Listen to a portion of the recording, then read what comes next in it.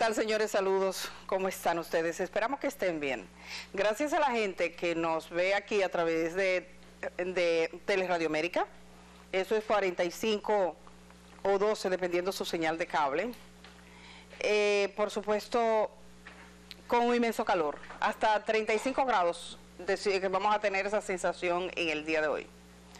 Gracias a la gente que está a través de televisión dominicana y que nos ve en Estados Unidos, que nos ve en Canadá y en algunas islas del Caribe. Yo quiero agradecerles este inmenso privilegio de estar con ustedes. Hoy tenemos una agenda con muchísimos temas, estamos reiniciando esta semana y es una época que en República Dominicana en esta etapa es de transición. Nosotros estamos en plena transición. Lo que pasa es que como el gobierno se queda, eso es menos notable. O sea, si fuese un gobierno distinto, un presidente distinto, tuviésemos comisiones trabajando. De todas maneras, se esperan replanteamientos en varios aspectos. Y yo quiero referirme a esto comenzando, pero no quiero antes hacerlo sin antes agradecer a Oglenesia que estuvo aquí el jueves y el viernes. Yo no vine a este programa la semana pasada, dos días consecutivos, y es que me atrapó la gripe que circula profusamente en República Dominicana. Yo tengo compañeros con la misma gripe, hay distintas versiones. Hay gente que tiene influenza, conozco gente con dengue o gente con gripe. Entonces, en mi caso, después del COVID-19, eso nos cambió la vida, porque yo no era, no era así, pero el COVID-19 que me dio dos veces me dejó como secuelas que todas las gripes yo las respeto. Digo, espere un momento, llegó la gripe. Entonces, eh, eso fue lo que pasó. Pero me siento muy, muy contenta, primero de que sé que Obla aquí ha hecho un trabajo fenomenal y segundo de que sé que ustedes están ahí. Así que muchísimas gracias. Les comentaba que estamos en una etapa de transición. Transición eh, que está por definirse cómo va a ser el gobierno de Luis Abinader, que es la segunda gestión, segundo mandato. Y obviamente eso podría ser distinto, tener sus diferencias respecto al gobierno que encabezó hasta ahora. Primero porque estos primeros cuatro años están en clave, digamos, electoral. Las decisiones que se toman se hacen pensando también en que el presidente tenía la posibilidad de volver. Ya no. Si él quiere dejar una impronta, si quiere dejar modificaciones y reformas puntuales, tiene la oportunidad de hacerlo en este periodo.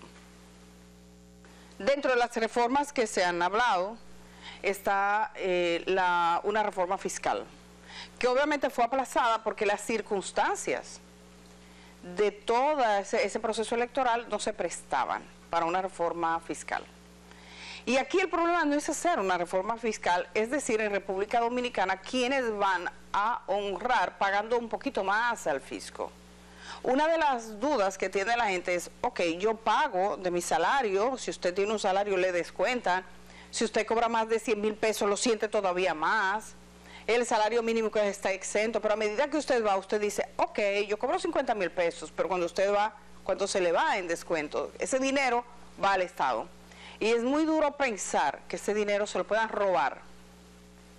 Que exista gente que administre la cosa pública con el criterio de apropiarse de lo que no es suyo. Entonces, de alguna manera en República Dominicana, como en muchos de nuestros países, la gente tiene ese temor que dice, bueno, yo le aplico al Estado, pero el Estado no me resuelve cosas fundamentales que yo necesito. Es decir, tú le pagas impuesto al Estado, pero tú no tienes garantía de tener servicio energético, por ejemplo.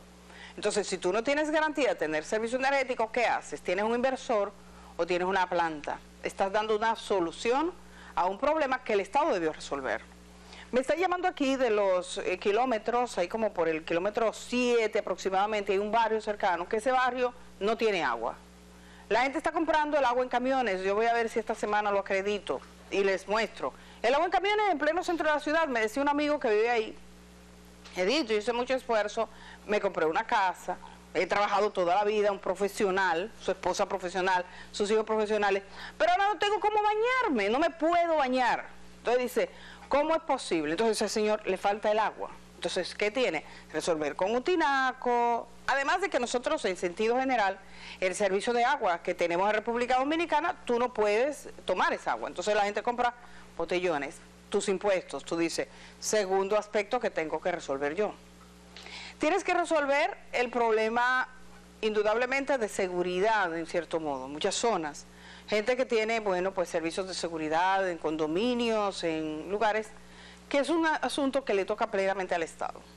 Así vamos contando, la gente que dice, bueno, las escuelas, voy a tener mi hijo en una escuela pública, la universidad pública, yo respeto mucho el trabajo de las escuelas públicas, pero indudablemente que en nuestro país hay un porcentaje importante que está en el sector privado y que la gente que son, sobre todo clase media, dice, bueno, voy a mandar a mi hijo para tener cierta seguridad, sus escuelas especializadas o digamos del nivel universitario. Esa es una parte que si se gana más prestigio, podría tener plenamente desarrollado el Estado. Y hay cosas que son de plena justicia, como por ejemplo, tener su seguro de salud cuando usted deja de trabajar. Oigan esos dominicanos que están en Estados Unidos.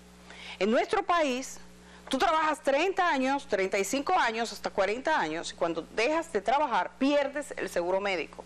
Para mí esa es una de las injusticias más grandes. Te dicen, ah, no, usted tiene régimen subsidiado, pero usted sabe lo que es el régimen subsidiado un ciudadano que tiene la oportunidad de ir a un hospital público con un carnet en la mano. Y el hospital público sabemos cómo es. Tránsito inmenso. Eso no quiere decir que yo tenga nada en contra del hospital público. Yo soy una que me pondría eh, tranquilamente en las manos de los médicos, por decir de uno, del Darío Contreras. Yo aprecio el trabajo de la sanidad pública en República Dominicana, sobre todo en la pandemia lo demostraron. Pero sí que tenemos muchos problemas, las filas que hay, las citas, las maneras, las formas en las que atienden a los ciudadanos, hay muchos problemas. Entonces, cuando usted termina de trabajar su vida laboral, usted no tiene seguro, usted tiene subsidiado porque el Estado te subsidia, pero ¿dónde está ese régimen? Yo creo que esa es una de las reformas que tiene que hacer este gobierno ahora, que está eh, que cuando reinicie asegure el tema de la seguridad social que ya ha hablado, que tenga un mayor sentido de justicia y de equidad. Esa es una base fundamental para que este país no siga dependiendo. Aquí hay mucha gente que los medicamentos, ¿quiénes los compran? Los hijos, si hay alguien en Estados Unidos mandando dinero con remesas. No debería ser porque muchos de los ciudadanos nuestros en Estados Unidos no tienen casa, viven alquilados, pasan mucho trabajo y existe la idea generalizada de que el trabajo se gana fácil en Estados Unidos, que usted tiene facilidades. Mandan dinero para que le construyan una casa que en muchos casos no se la construyen, mandan dinero para que le guarden una cuenta de ahorros que en muchos casos lo gasta eh, la familia. Y entonces los dominicanos que se han ido aprenden a tener que lidiar con todo eso, con una cultura que opina que ya el dinero lo encuentran en una mata en el centro de la ciudad de Nueva York. Entonces, son de los desafíos. Si llega una reforma fiscal a nuestro país, tiene que contemplar que aquí hay sectores, que nosotros tenemos uno de los países de mayores niveles de inequidad. Ese es un tema que aquí no se habla. O sea, nosotros eh, tenemos, y en, en el debate público, político, de campaña, en las elecciones, casi no se habló. Es muy distinto si ustedes buscan el discurso y lo que se dice, lo que se discute. En México, por ejemplo, los niveles de que en México ahora mismo las personas envejecientes tienen todas pensiones, el Estado está pagándole una pensión a todos los envejecientes. Y dice, le vamos a pagar y vamos a garantizar que los envejecientes tengan una calidad de vida mínima. Los programas sociales están directamente relacionados con la situación de vulnerabilidad de las personas. Yo estoy segura que en ese millón y pico de personas que le dieron el bono madre, hay muchos que no lo cobraron porque no saben ni cómo. Aquí, que son 1.500 pesos, usted tenía que poner la cédula en una plataforma y a veces le dicen a la gente, hay un bono para un millón de madres, pero hay muchas que no entran. Es más, voy a hacer una solicitud a ver de todos esos bonos especiales. ¿Cuánta de nuestra ciudadanía entró a buscarlo? Lo tiene. ¿Cuántos se otorgaron? Entonces vamos a pensar en una, en una reforma fiscal más, con, más íntegra y atención a todos los ciudadanos. Aquí están la gente del ron, la gente de la industria, la gente del, del cigarro hablando. Entonces los ciudadanos, ¿qué? Así que con ese ánimo comienzo la mañana del lunes agradeciendo la mañana, la tarde o la noche, en cualquier momento que nos vean, porque este programa también lo ve mucha gente diferida y también los transmitimos en horario diferido en los Estados Unidos. Estoy muy agradecida de tener este honor, esta posibilidad. Voy a ir a la pausa y regresamos de una vez.